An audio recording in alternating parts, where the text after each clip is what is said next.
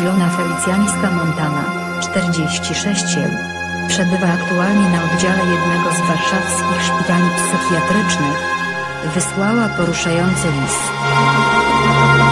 Za burzliwym życiem celebrytki naprawdę trudno nadążyć.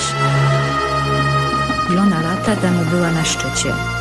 Prężnie rozwijała swoją karierę w modelingu. Później stworzyła własną fundację i brylowała na salonach, których była ozdobą. Sprawdź. Wszystko skończyło się w dniu, w którym spowodowała wypadek samochodowy pod wpływem alkoholu.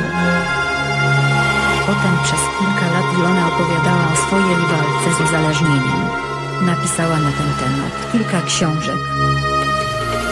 Do tego doszła batalia sądowa o dzieci, którą toczyła z byłym mężem.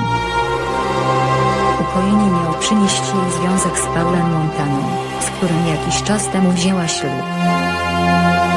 Ten związek także należy do mocno burzliwych. Ich wyprawa do Stanów skończyła się aresztowaniem. Po powrocie do Polski Ilona deklarowała, że wszystko jest w jak najlepszym porządku. Teraz okazuje się, że chyba nie do końca. Celebrytka trafiła właśnie do szpitala psychiatrycznego. Jak donosi Plejada, podobno zgłosiła się tam dobrowolnie. Felicjańska wysłała do portalu także poruszający list, w którym opisuje swoją aktualną sytuację. Leżę na oddziale szpitala psychiatrycznego. Tak, psychiatrycznego. Patrzę na nieszczęśliwych, smutnych i zagubionych ludzi. Krzyczących z żalu i bezsilności. Patrzę, słucham i płaczę. Tylko tyle mogę. Kilka przytuleń. Czy to da im nadzieję? Nie wiem. Wiem, że da mi. Bo ja. Ja jestem tylko uzależniona od alkoholu. Miałam nawrót, szukałam pomocy, a w dobie obecnej kwarantanny mogłam przyjechać tylko tutaj, zaczyna swój list Ilona.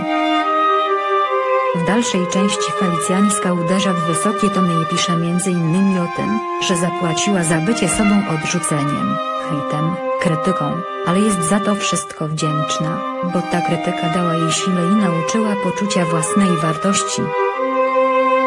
Idę dalej z podniesioną głową, bo to dopiero połowa mojego życia.